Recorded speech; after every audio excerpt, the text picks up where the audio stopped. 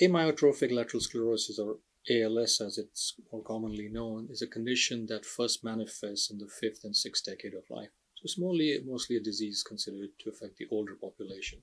So here we used a technology that we have developed at our lab, which uses teeth to um, measure what's happened in the past. So we use them as a time capsule or as a biologic hard drive, as, as I refer to it sometimes, because once they capture the signature of the environment in our metabolism, it gets logged away.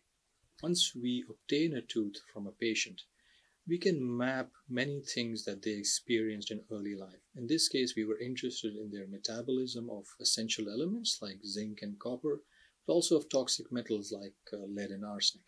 I think we have shown that it is possible to detect signatures of late life disease uh, all the way right at the beginning of life. And I think that can be a uh, useful sort of platform to explore in the future. We hope in the long term that this will lead towards preventive strategies uh, because we are identifying biochemical pathways. We can work with our colleagues in drug development to alter those pathways.